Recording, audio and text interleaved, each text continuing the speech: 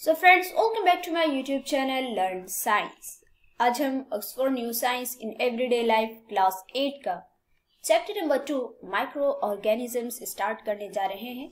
अभी तक हम लोग chapter number one crop production and management को कवर कर चुके हैं। आई होप आपने उसे पढ़ लिया होगा एक्सरसाइज प्लस क्वेश्चन आंसर्स भी हो चुके हैं। नहीं पढ़ा है तो कोई बात नहीं। मैं चैप्टर की प्लेलिस्ट की लिंक डिस्क्रिप्शन में दे रही हूँ। आप उस पर क्लिक कीजिए। आपको चारों पार्ट वहीं पे मिल जाएँगे। ओके, चलिए, स्टार्ट करते हैं आज का chapter.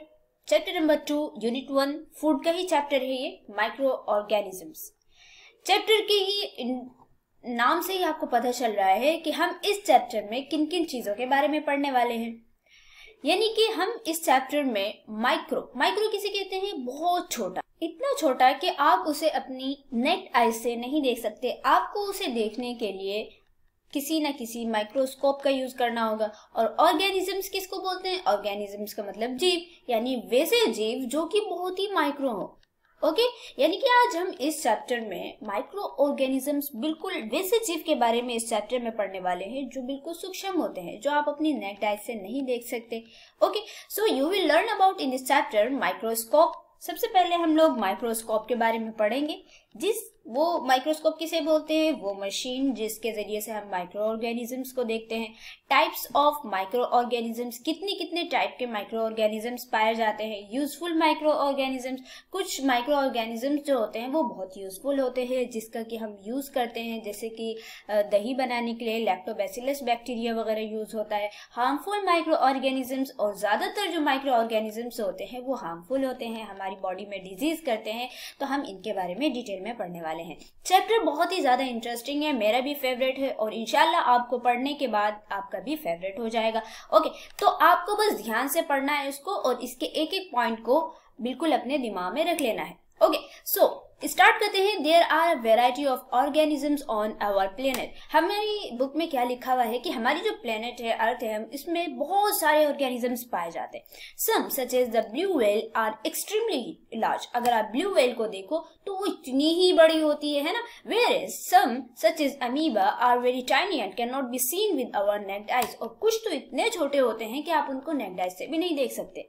समझ लीजिए कि हमारे प्लेनेट पे बहुत बड़े बड़े जानवर भी पाए जाते हैं और बहुत छोटे जानवर भी पाए जाते हैं। Look at the picture given below नीचे आपको पिक्चर दी हुई है। Can you identify and name the organisms that had that has cause the bread क्या आप बता सकते हैं? क्या आप आइडेंटिफाई कर सकते हैं और नेम बता सकते हैं? नाम बता सकते हैं उस ऑर्गेनिजम्स का जिसकी वजह से जो ब्रेड है वो खराब हो गई है।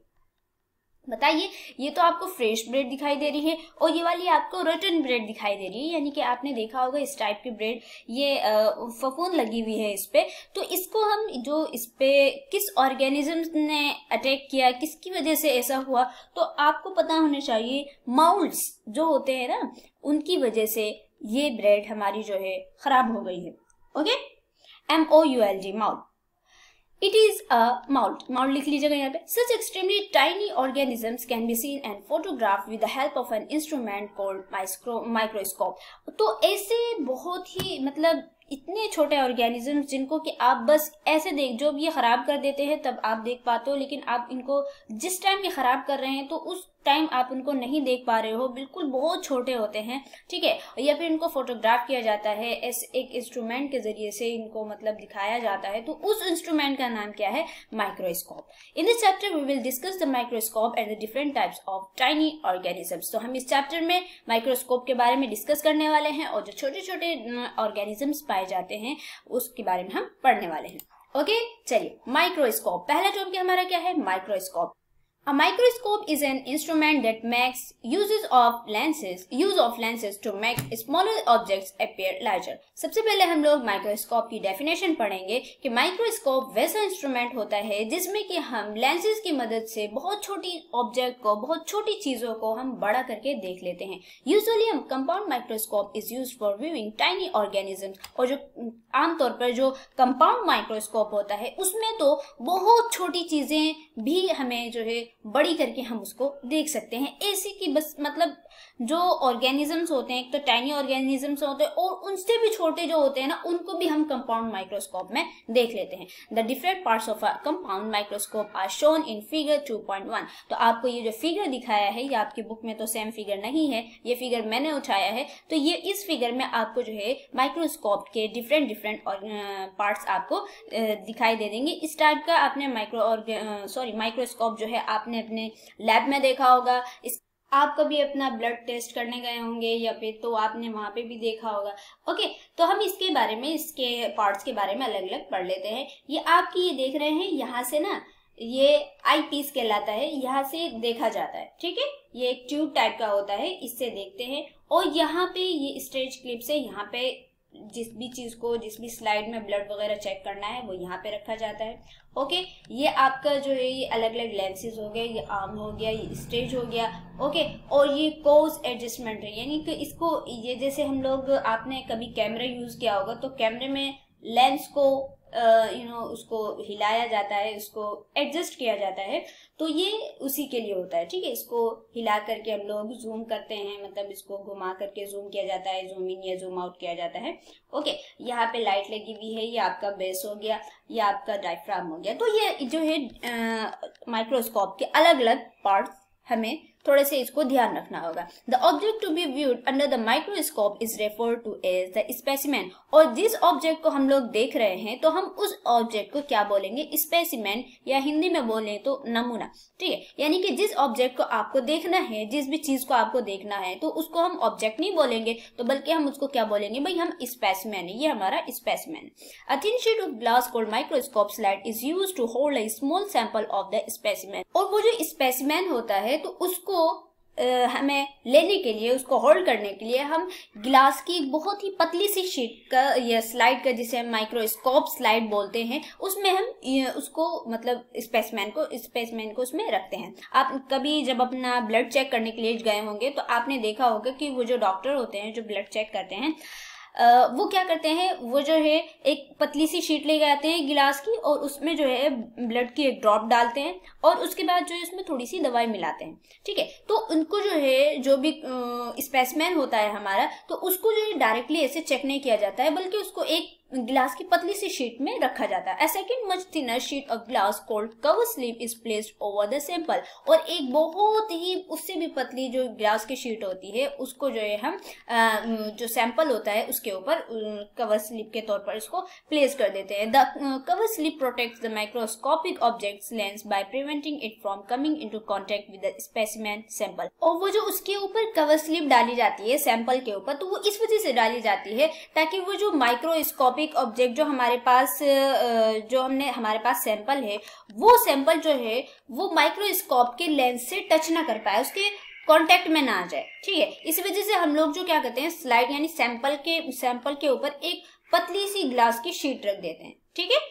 It also helps to create an even thinness for the sample इसके अलावा ये नमूने के लिए एक बहुत ही पतले, नमूना जो है हमारे स्पेसिमैन उसको पतला भी बनाने में, पतलेपन में भी इसको मदद करता है। Okay the basic step to use a compound microscope are as follows अगर आप एक कंपाउंड माइक्रोस्कोप यूज़ कर रहे हैं तो उसके कुछ बेसिक स्टेप्स हैं जिन्हें आपको फॉलो करना होगा। Clean the mirror using a soft clean cloth if required तो आपका जो मिरर है, जहाँ से आप देख रहे हो, उसको जो सबसे पहले आप एक पतले से सॉफ्ट से साफ़ सुथरे कपड़े से आप उसको साफ़ कर दीजिए ताकि आपको क्लियर इमेज दिखे। Place the slide with the specimen on the stage और जो आपकी जो यहाँ पे ये जो स्टेज है स्टेज क्लिप्स वहाँ पे जो है आप अपनी स्पेसमैन के साथ जो आपका सैंपल है ब्लड सैंपल या किसी भी चीज़ का यूरिन सैंपल या जो भी सैंपल है टूल सैंपल उसको जो है आपको यहाँ पे रख देना है। ठीक है स्लाइड के साथ रख देना है स्टेज पे रखना है। Okay adjust the focus of the eyepiece and the objective lens with the help from your teacher और अपने टीचर की मदद से जो है आपको क्या करना है?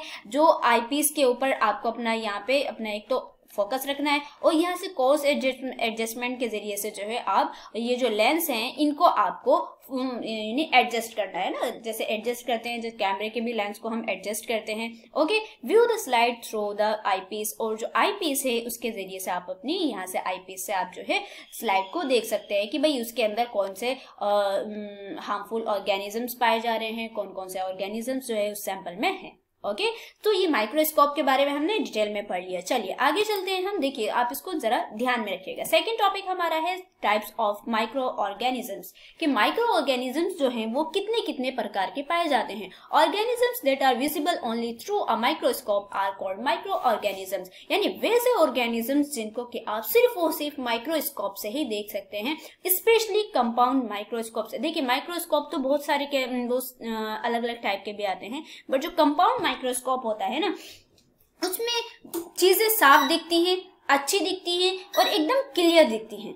तो जो आप वैसे ऑर्गेनिजम्स जिनको कि आप माइक्रोस्कोप से ही देख पाते हैं, उनको आप क्या बोलते हैं? Micro organisms micro means very small और माइक्रोप्स माइक्रो का मतलब जो होता है, वो बहुत ही स्मॉल होता है। मतलब इतने स्मॉल कि आप उनको बिल्कुल भी ऐसी नेक डाई से आप कितनी भी कोशिश कर लो, आपको दिखने वाले हैं नहीं।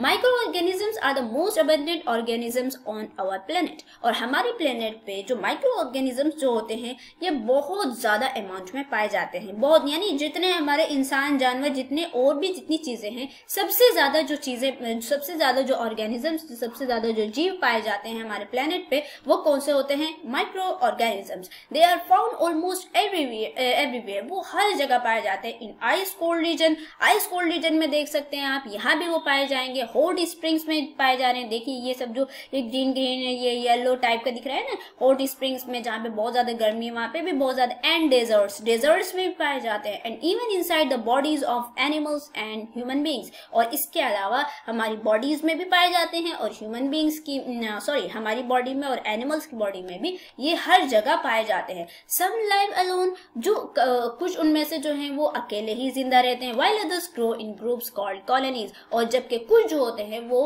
ग्रुप्स में ग्रो करते हैं, जिन्हें हम कॉलोनीज कहते हैं। जैसे कि आप ये स्टेरिचिया कॉली बैक्टीरिया जो है, ये हमारे इंटेस्टाइन में पाए जाने वाला बैक्टीरिया आप देखिए इसको कि ये जो है कॉलोनी में ग्रो करता है और कितनी तेज़ी से ग्रो कर रहा है।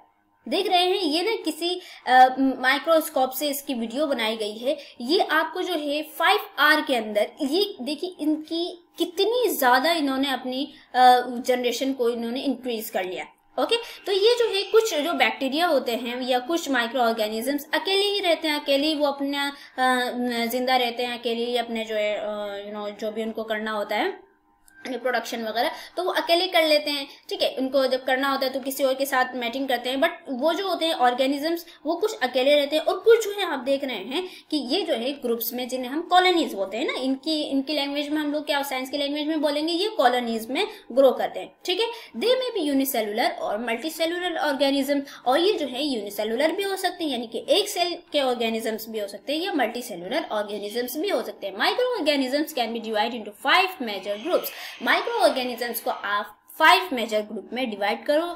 Bacteria protozoa fungi algae and viruses micro organisms के, को जो है फाइव मेजर ग्रुप में डिवाइड किया गया है. Bacteria protozoa fungi algae and viruses अब हम लोग जो है इनको अलग अलग डिटेल में पढ़ने वाले हैं. बैक्टीरिया के बारे में कुछ बैक्टीरिया के बारे में पढ़ेंगे कुछ प्रोटोजोन्स के बारे में कुछ फंगी कुछ एल्गी एंड कुछ वायरसेस के बारे में. ओके okay, सबसे पहले हम लोग क्या पढ़ेंगे? बैक्टीरिया के बारे में। They are among the smallest and oldest organisms on our planet देखिए यहाँ पे आपका दो क्वेश्चन जो है ऑब्जेक्टिव क्वेश्चंस आपके डायरेक्टली आपको मिल गए कि ये सबसे ज़्यादा स्मॉलेस्ट एंड ओल्डेस्ट ओके?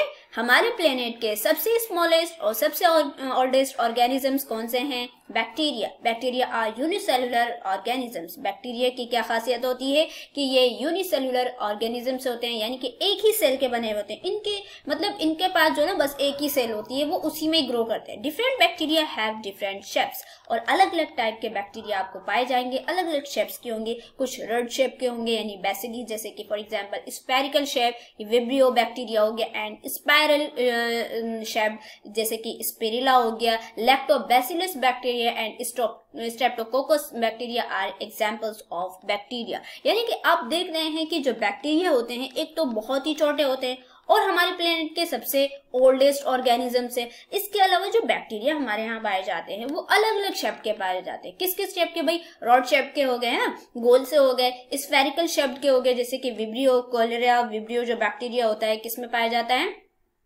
हेजा जब होती है जो हेजा की बीमारी होती है ना कोलेरा जो, जिन्हें हम बोलते हैं इंग्लिश में तो उसके जो बैक्टीरिया होता है वो स्पेरिकल शेप का होता है। स्पायरल शेप का हो गया, जैसे कि स्पिरिला बैक्टीरिया लैक्टोबेसिलस बैक्टीरिया हमारे कर्ड में पाया जाता है एंड स्ट्रेप्टोकोकस बैक्टीरिया अलग अलग टाइप के बैक्टीरिया है। तो आप यहाँ पे देख रहे हैं, ये बेसिली बैक्टीरिया है ना।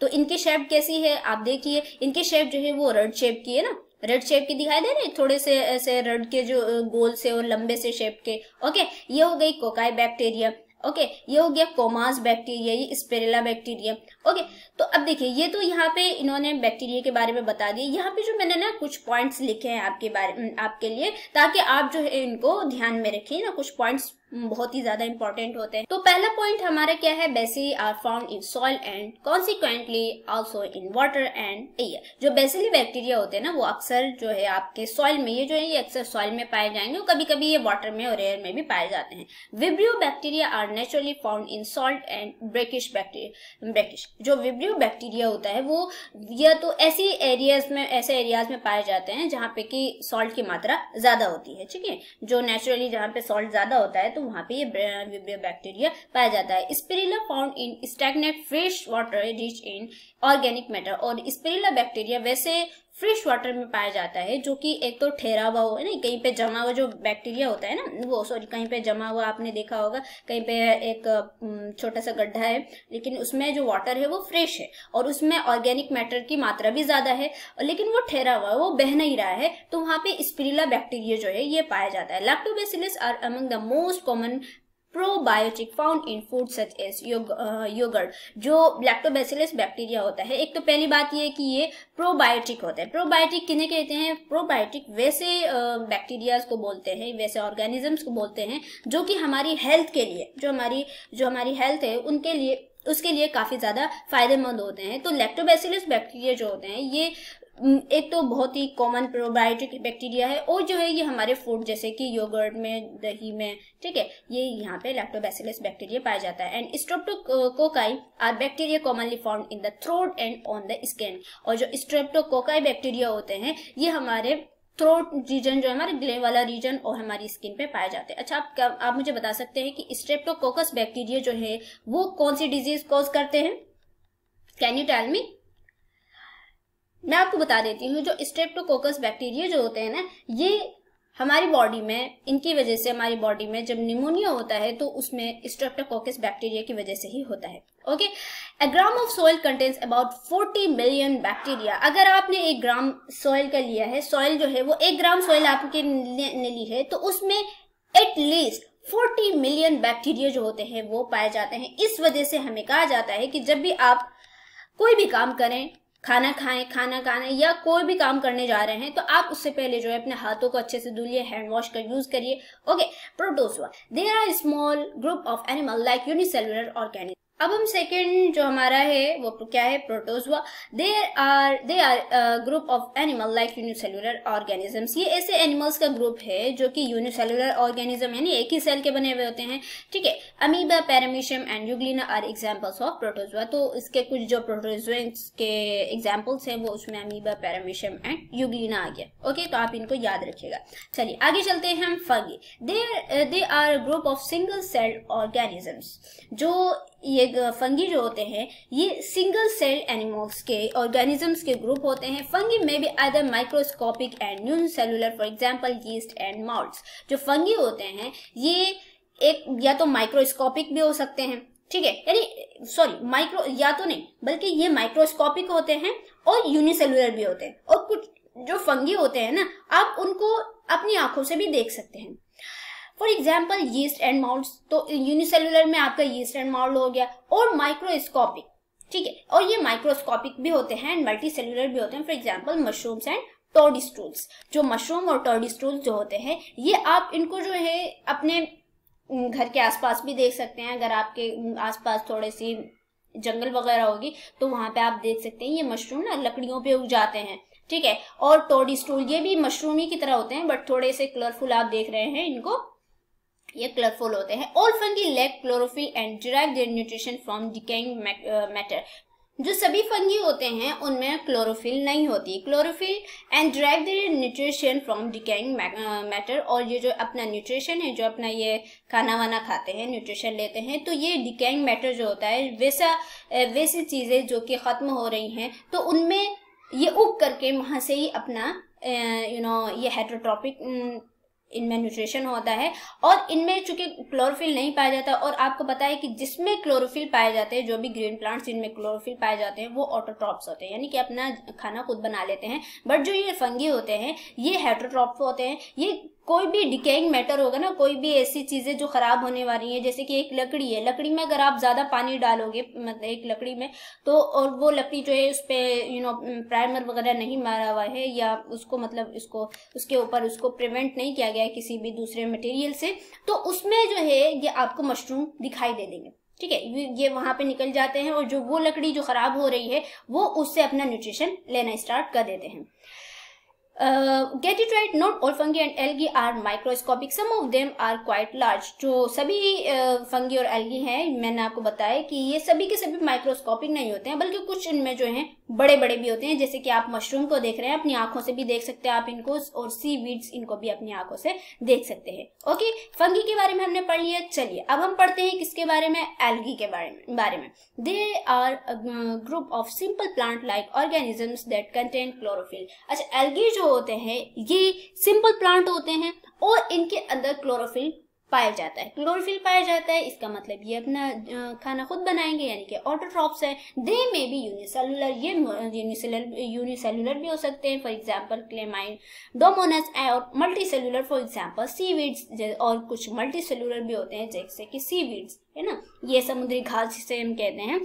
ये बहुत ही ज़्यादा इंपॉर्टेंट होती है सीविड्स इनके हम यूज़ जो है मेडिसिनल यूज़ भी करते हैं और भी बहुत सारी चीज़ों में लेबोरेटरी में इसका बहुत यूज़ किया जाता है। Some unicellular algae also exist in colonies for example chlorella and diatoms कुछ जो यूनिसेलुलर एल्गी होते हैं, वो कॉलोनीज में रहना पसंद करते हैं। जैसे कि आप क्लोरेला को देख रहे हो, जो डाई एटम्स को देख रहे हैं, ये जो है कॉलोनीज में रहना पसंद करते हैं। ओके तो हमने देखिए, हमने बैक्टीरिया, प्रोटोजुआ, फंगी, एल्गी के बारे में हमने पढ़ लिया। अब हमारा क्या बच गया है? वायरस।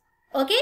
वायरस के बारे में आपको पता भी होगा, कुछ वायरसेस, जैसे कि कोरोना वायरस हमारे देश में फैला हुआ है, हमारे देश में क्या, बल्कि पूरे वर्ल्ड में फैला हुआ है। तो वायरसेस से आप कुछ ना कुछ तो फैमिलियर होंगे ही कि वायरसेस किस टाइप के होते हैं, किस तरीके से फैलते हैं। They are so small that they can seen using ordinary compound microscope ये इतने छोटे होते हैं कि आप इनको नॉर्मल जो ऑर्डिनरी कंपाउंड माइक्रोस्कोप होते हैं, आप उनसे भी इनको नहीं देख सकते, बल्कि आपको इनके लिए स्पेशल माइक्रोस्कोप लान स्पेशल कंपाउंड माइक्रोस्कोप लेकर के आना होगा, जिससे कि आप इनको वायरसेस को देख सकते हैं। They are usually studied with the help of powerful microscope और इलेक्ट्रॉन माइक्रोस्कोप तो अब इनको स्टडी करने के लिए, इनको ढूँढने के लिए, इनको सर्च करने के लिए, इनको देखने के लिए हम जो है, बहुत ही पावरफुल माइक्रोस्कोप लेकर के आते हैं, जिसको क्या बोलते हैं? Electron micro microscope. Viruses 2.4 are hard to easy classy hard to classify as living और नॉन लिविंग एज जो वायरसेस होते हैं ना, आप इनको लिविंग भी कह सकते हैं और नॉन लिविंग भी कह सकते हैं। इनका क्या रहता है कि ये ना डॉर्मेंट स्टेज में रहते हैं, ठीक है? यानी कि आप एक तरीके से ये होता है कि ये जब नॉर्मल ऐसे एनवायरमेंट में रहते हैं, ऐसे ही खुले रहते हैं तो जब ये डॉर्मेंट स्टेज में रहते हैं मतलब ये है कि ये नॉन लिविंग की तरह रहते हैं। बट जैसे ही ये किसी बॉडी के कांटेक्ट में आते हैं फ़ौरन ये मतलब ज़िंदा हो जाते हैं एज लिविंग ऑर्गेनिजम्स की तरह वर्क करने लगते हैं, वहाँ पे अपने रिप्रोडक्शन करते हैं, वहाँ पे अपनी बिल्कुल उस ऑर्गेनिजम्स को हार्म करते हुए उसके अंदर से न्यूट्रिशन को लेते हुए ये जो है अपनी जनरेशन बढ़ाते हैं और उसको हार्म करते रहते हैं। ऑन देयर ऑन देश they show no sign of life और ये खुद जो है मतलब अपने आप में ही अगर आप इनको खुले एनवायरमेंट में रखे हुए तो ये ना इनके अंदर कोई भी आपको साइन दिखेगा ही नहीं कि ये ज़िंदा है या मरे हुए। However they produce inside the cells of organism such as plants animals और बैक्टीरिया लेकिन जैसे ही ये किसी ऑर्गेनिजम्स जैसे कि प्लांट के या एनिमल्स के या बैक्टीरिया के कॉन्टेक्ट में आए, उनके अंदर घुस गए, फॉरन ये जो है अपना रिप्रोडक्शन स्टार्ट कर देते हैं। तो आप जो है ना, आप इनको नन लिविंग भी कह सकते हो या लिविंग भी कह सकते हो। ये इनके बीच का भी कह सकते हो। टोबेको मोजेक वायरस टीएमवी ये बहुत ही इंपॉर्टेंट वायरस है। And human immunodeficiency virus H virus ये किसमें पाया जाता है? जब एड्स होता है किसी बंदे को तो उसमें ह्यूमन इम्यूनो डिफिशियंसी वायरस इसकी फुल फॉर्म आप याद रखिएगा कि ये वायरस जो होते हैं, कुछ वायरसेस के एग्जांपल्स हैं जो कि बहुत ही खतरनाक होते हैं। They widely feared avian flu and swine flu are also caused by viruses इसके अलावा जो एवियन फ्लू और स्वाइन फ्लू के बारे में आपने सुना ही होगा ये जितने भी फ्लू होते हैं ये सभी वायरस की वजह से ही होते हैं। ओके okay, तो हमने वायरसेस के बारे में क्या पढ़ा कि भाई वायरसेस जो होते हैं ना एक तो बहुत ही छोटे होते हैं। इतने छोटे होते हैं कि आप इनको ऑर्डिनरी कंपाउंड माइक्रोस्कोप से नहीं देख सकते। दूसरी बात यह है कि आपको इनको देखने के लिए इलेक्ट्रॉन माइक्रोस्कोप का यूज़ करना होगा। तीसरी बात यह है कि वायरसेस जो होते हैं, इनको या तो आप ना ही लिविंग कैटेगरीज में रख सकते हो और ना ही नॉन लिविंग कैटेगरीज में रख सकते हो। लेकिन जब ये किसी ऑर्गेनिजम्स के कांटेक्ट में आते हैं, तब ये लिव हो जाते हैं और जब ये नॉर्मल रहते हैं तो तब ये नॉन लिविंग की तरह रहते हैं। और कुछ वायरसेस जैसे कि टीएमवी वायरस हो गया टोबैको मोजेक वायरस देखिए आप देख सकते हैं, ये ना टोबैको मोजेक वायरस जो होता है, ये तंबाकू के पत्तों में होता है। तंबाकू जो बहुत सारे लोग कंज्यूम करते हैं, बहुत ही ज़्यादा हार्मफुल होता है वो लाइफ के लिए। अगर आपके घर में कोई टोबैको का यू नो कंज्यूम कर रहा है, उसको खा रहा है या उसको जो भी करते हैं पता नहीं आई डोंट नो उसके अंदर क्या चीज़ें होती हैं। अगर कोई कंज्यूम कर रहा है तो उसको खुदा ना करे कि उसको जो है कैंसर वगैरह हो बट उसको कैंसर की संभावना बहुत ही ज़्यादा हो जाती है। इसके अलावा ह्यूमन इम्यूनो डिफिशियंसी वायरस बहुत ही खतरनाक एड्स वायरस है। इसको भी आप आपको ध्यान रखना होगा। ये यू you नो know, बहुत ही कॉमन वायरस जो आपके एग्ज़ाम्स वगैरह में आता है, एक तो आपकी, आपसे ये पूछा जा सकता है कि आप एड्स के वायरस का नाम बताइए तो आप क्या कहेंगे? एचआईवी वायरस यानी कि ह्यूमन इम्यूनो डिफिशियंसी वायरस ये कुछ वायरसेस के एग्जाम्पल्स हैं। और उसके अलावा कुछ जो एवियन फ्लू स्वाइन फ्लू जो होते हैं, ये भी वायरस की वजह से होते हैं। और कोरोना वायरस के बारे में भी हम लोग अलग से एक वीडियो बनाएँगे इनशाला मैं बना के दूँगी, ताकि आप लोग कोरोना वायरस से भी आप लोग बिल्कुल अच्छे से फेमिलियर हो जाए कि इनके क्या क्या कॉजेज हैं क्या क्या सिम्टम्स हैं, कैसे होता है। ओके ये कुछ एवियन फ्लू के सिम्टम्स आप देख लीजिए। देखिए, जितने भी फ्लू या वायरसेस से जितने भी बीमारियाँ होती हैं ना, इनके जो सिम्टम्स होते हैं, ये नॉर्मली सेम ही होते हैं। सर के आप देखोगे तो आपको अक्सर सेम ही दिखेगा। क्या होता है कि चेस्ट पेन यानी कि आपको के सीने में दर्द होगा ब्रीथ ले, आपको सांस लेने में परेशानी हो रही है फीवर हो रहा है हेडेक हो रहा है, सर में दर्द होगा कफ होगा डायरिया हो जाएगा, उसके अलावा वॉमिटिंग होगी। ठीक है, आप कोरोना वायरस में भी देखो, इसके भी सिम्टम्स ये सेम ही होते हैं। और इससे आपको अवॉइड करना, जब ये एवियन फ्लू वगैरह जो होता है, ये चिड़िया से, ये बर्ड वगैरह से होते हैं तो आप जो है इनसे अवॉइड कीजिए जब आपको कभी एवियन फ्लू के बारे में पता लगे। कि आप तो आपको इनको इन जानवरों के पास नहीं जाना चाहिए। और प्रिवेंशन क्या करना है भाई? अच्छे से हाथ धोना है। फ़ूड हाइजेनिक एंड सेफ्टी आप जो फ़ूड ले रहे हैं उसको हाई, वो हाइजेनिक और सेफ्टी होना चाहिए। Should you wear a face mask in public और पब्लिक में जो है फेस मास्क से फेस मास्क के बिना आप नहीं निकलिएगा। ओके ये स्वाइन फ्लू के कुछ एक तो पहली बात है कि स्वाइन फ्लू होता किससे है? H one N one virus जिसे हम कहते हैं। ये अक्सर पिग्स की वजह से बहुत सारे लोग पॉर्क खाते हैं ना? तो जो पॉर्क होता है, जो पिग का जो गोश्त होता है तो उससे बहुत सारे वायरस होते हैं। उनमें एक वायरस जो होता है, वो स्वाइन फ्लू भी होता है। स्वाइन फ्लू जो होता है, वो पिग से ह्यूमंस में भी आ जाता है। तो इसके भी कुछ जो सिम्टम्स हैं, वो क्या है कि भाई फीवर होगा लेक ऑफ़ एपेटाइट भूख की कमी हो जाएगी नेजोफेरिंग्स यानी कि आपकी जो नाक है, वो बहेगी सोर थ्रोट यानी कि आपके गले में दर्द होने लगेगा रेस्पिरेटरी सिस्टम में आपको परेशानी होगी कफिंग होगी, खांसी होगी मसल्स पेन होगा गैस्ट्रिक यानी कि आपके स्टमक में जो है वो आपको वॉमिटिंग होगी गैस्ट्रिक नोजिया होगा जॉइंट्स में पेन होगा आपका और इंटेस्टाइन में जो है आपके यानी कि डायरिया आपको हो सकता है। तो आप देख रहे हैं कि जितने भी ये फ्लू वगैरह हैं, जितने भी वायरसेज हैं, इनके जो सिम्टम्स होते हैं वो अक्सर सेम ही होते हैं। ओके आप कोरोना वायरस के भी सिम्टम्स देखो तो वो भी इससे बहुत ज़्यादा सिमिलर होते हैं। अब हमारा तीसरा जो टॉपिक था वो क्या था? यूजफुल माइक्रो ऑर्गेनिजम्स कुछ माइक्रो ऑर्गेनिजम्स बहुत ही ज़्यादा यूजफुल होते हैं। Micro organisms benefit us in a number of ways micro organisms जो हैं वो हमारे बहुत ज़्यादा, बहुत तरीक़ों से हमें बेनिफिट करते हैं, हमारा काफ़ी ज़्यादा वो फ़ायदा करते हैं। Their uses can be divided into four categories उनको हम जो है फार मतलब अगर यूज़ के अतबार से देखा जाए तो उनको हम चार कैटेगरीज में डिवाइड कर सकते हैं। कमर्शियल यानी कि व्यवसायिक तौर पर मेडिसिनल मेडिसिनल यूज़ किया जा सकता है एग्रीकल्चरल एग्रीकल्चर में यूज़ किया जाता है एंड एनवायरमेंटल और एनवायरमेंट के लिए यूज़ किया जाता है। Let us discuss each of this in detail तो पहले हम जो इनको एक एक जहाँ पे हम लोग फोर कैटेगरीज में हमने इनको डिवाइड किया है commercial medicinal agriculture and and environmental तो हम इनको एक एक करके डिटेल में पढ़ने वाले हैं। Commercial uses some of the commercial uses of micro organisms are given below आपको जो है, नीचे कुछ कमर्शियल यूजेस दिए गए हैं। मेकिंग कर्ड एंड चीज़ जो आप कर्ड बनाते हैं, दही बनाते हैं अपने घर में या फिर पनीर बनाते हैं तो उनमें हम जो है, उनमें जो ऑर्गेनिजम्स यूज़ होते हैं, जो ऑर्गेनिजम्स उसमें रिप्रोड्यूस होते हैं, जो पैदा होते हैं, वो बहुत ही ज़्यादा यूजफुल होते हैं।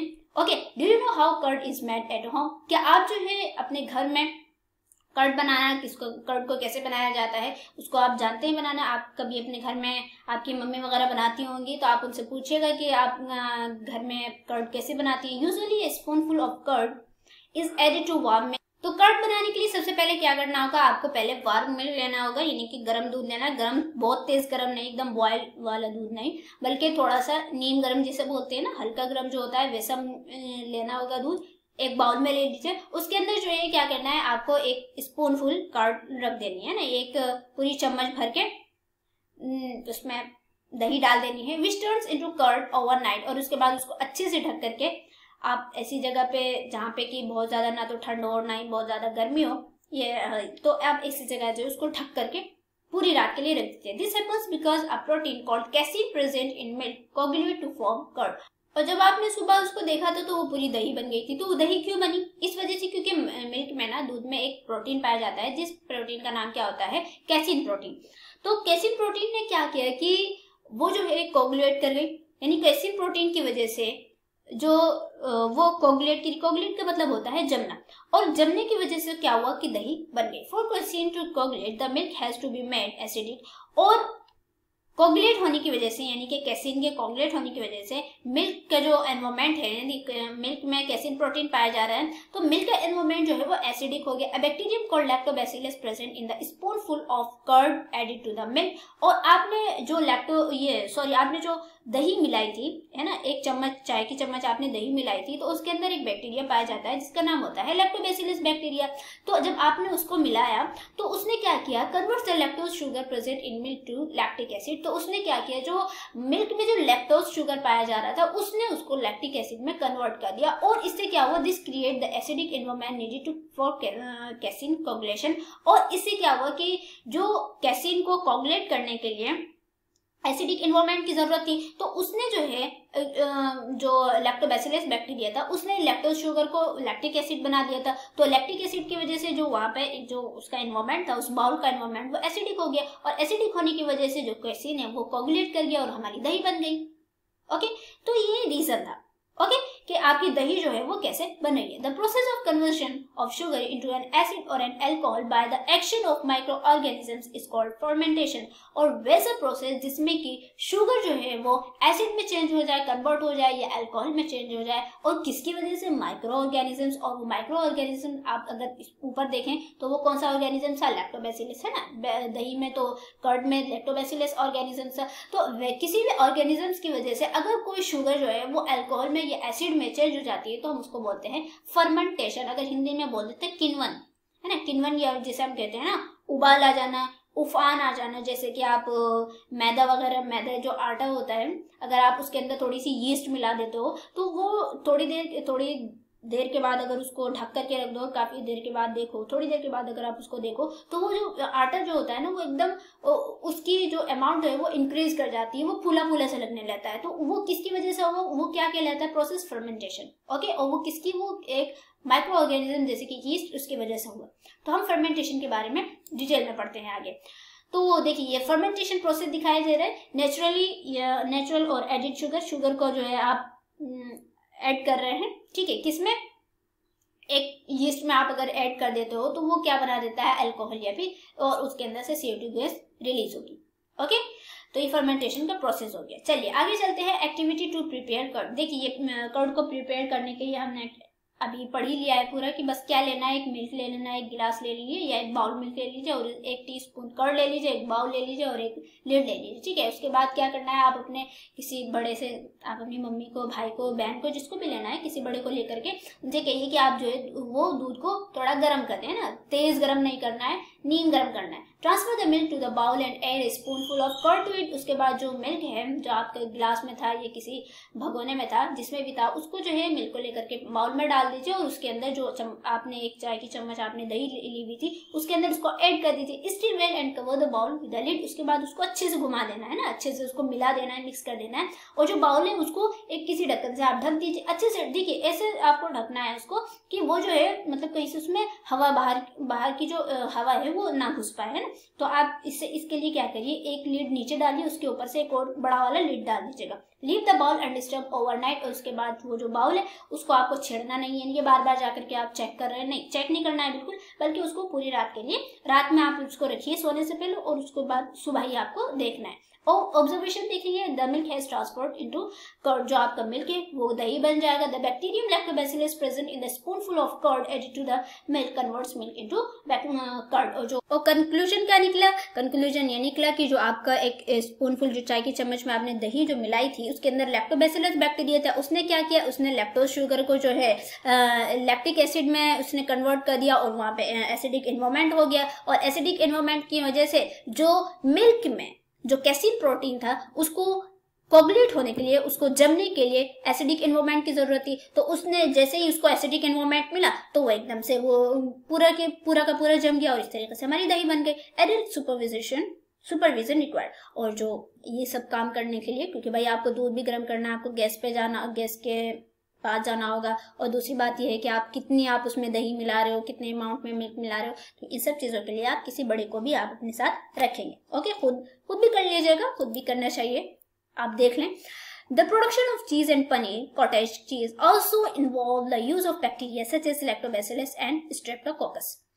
अगर आप चीज़ बना रहे हो है ना पनीर बनाते हैं या कॉटेज चीज़ जिसे भी कहते हैं तो उसके वो जो बनती है ना तो उसके अंदर भी कुछ बैक्टीरिया का यूज़ होता है जिसे हम कहते हैं lactobacillus and streptococcus bacteria Curd and cheese manufacturers also add a substance called rennet, usually obtained from stomach of young cattle to make uh, to make to make the process. अच्छा curd बनाने के लिए या चीज़ बनाने के लिए हम एक और सब्सटेंस का यूज़ करते हैं जिस सब्सटेंस का नाम होता है रेनेट रेनेट क्या होता है? रेनेट जो होता है ना वो जो यंग कैटल होता है, जैसे भैंस का बच्चा हो गया तो इसके स्टमक में एक सब्सटेंस पाया जाता है, जिसे हम बोलते हैं रेनेट ठीक है, उसको निकालते हैं। अब वो उनका निकालने का प्रोसेस जो भी होगा तो उसको रेनेट को निकाला जाता है और उनको कर्ड में और चीज़ में ऐड कर दिया जाता है। इस वजह से ताकि जो कर्ड और चीज़ जो होती है, वो जितने टाइम में बन रही है नॉर्मली वो उससे ज़्यादा उससे कम टाइम में वो बन जाती है। यानी कि जो प्रोसेस है, उसको फास्ट करने के लिए हम कर्ड को या चीज़ को बनाने के लिए हम जो है, उसके प्रोसेस को फास्ट करने के लिए हम रेनेट का यूज़ करते हैं। Addition addition of rennet result in the formation of lactic acid यानी जब आप रेनेट को मिला दोगे तो उसमें जो है लैक्टिक एसिड का लैक्टिक एसिड बनने लग जाता है which which makes the milk more acidic और जिसकी वजह से मिल्क जो है, वो बहुत ज़्यादा एसिडिक हो जाता है।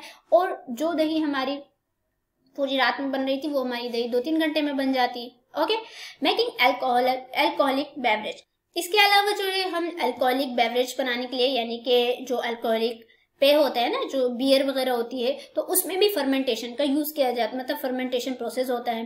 Production of alcoholic beverage such as beer and wine involve fermentation of sugar present in barley and grapes etcetera जो अल्कोहलिक बेवरेज बनाते हैं, जैसे कि बियर और वाइन हो गई तो उसमें भी जो है फर्मेंटेशन का प्रोसेस होता है जो कि ग्रेप्स में पाया जाता है by a microscopic fungus called yeast यानी कि जब अल्कोहल वगैरह बनाया जाता है अल्कोहल शराब वगैरह बनाई जाती है तो उसमें भी, उसको बनाने के लिए जो माइक्रोस्कोपिक फंगस है, जैसे हम यीस्ट कहते हैं, उसका यूज़ किया जाता है. और fermentation by yeast produce alcohol and carbon dioxide और यीस्ट का जो फर्मेंटेशन होता है उससे अल्कोहल और कार्बन डाइऑक्साइड गैस रिलीज़ होती है. ओके चलिए अल्कोहल बनाने के लिए हमने यूज़ कर लिया मेकिंग ब्रेड ब्रेड बनाने में भी हम यूज़ करते हैं. The process of making bread involve kneading a mixture of flour salt sugar yeast cell and water into dough जो ब्रेड बनाया जाता है तो ब्रेड बनाने से पहले हम क्या करते हैं?